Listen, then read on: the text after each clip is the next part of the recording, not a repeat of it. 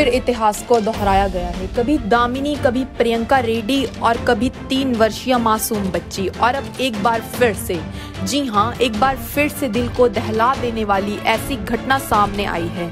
चलती बस में महिला के साथ हुई है छेड़खानी। जी हाँ रेप का मामला सामने उत्तर प्रदेश के प्रतापगढ़ से दिल्ली को जाने वाली आईटीसी की वॉल्वो बस में महिला के साथ दुष्कर्म की घटना घटित हुई है। जिसे अंजाम बस के चालक ने अपने साथी सह चालक के साथ दिया है। चालक फरार है, जिसकी गिरफ्तारी के लिए पुलिस ने टीमें गठित की हैं। वहीं महिला को मेडिकल के लिए जिला अस्पताल ले जाया गया है।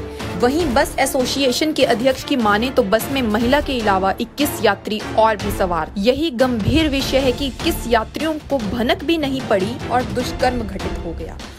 दुष्कर्म चलती बस में होता रहा। कोविड 19 के चलते सोशल डिस्टेंसिंग का फ़ायदा उठाते हुए बस के चालक ने घटना को अंजाम दिया।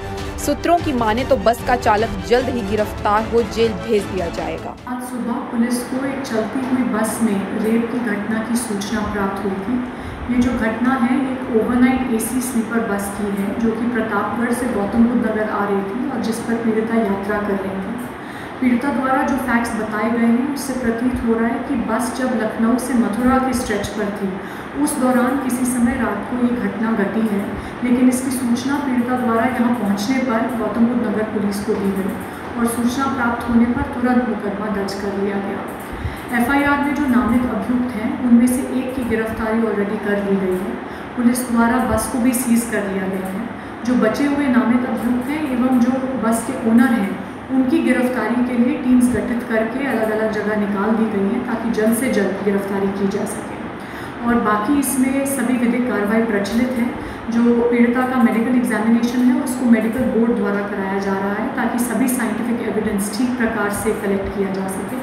जो बस में सह यात्री थे, उन सबको ढूंढ के उनके बयान कराए जा रहे हैं ताकि इसमें जल्द से जल्द चार्जशीट हो सके और जो अभियुक्त हैं, उनको सजा मिल सके। ਸਮੱਸਿਆ ਕੋਈ ਵੀ ਹੋਵੇ ਜੜ ਤੋਂ ਖਤਮ। ਮੇਰੇ ਕੀਤੇ ਨੂੰ ਕੋਈ ਕੱਟ ਨਹੀਂ ਸਕਦਾ। ਕੱਟਣ ਵਾਲੇ ਨੂੰ ਮੂੰਹ ਮੰਗਿਆ ਇਨਾਮ।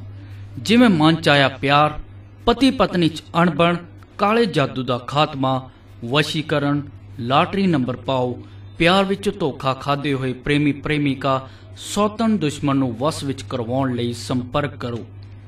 ਪੰਡਿਤ ਏਕੇ ਸ਼ਾਸਤਰੀ, ਤੁਸੀਂ ਸੰਪਰਕ ਕਰ ਸਕਦੇ ਹੋ 9906 नब्बे चार सौ नब्बे।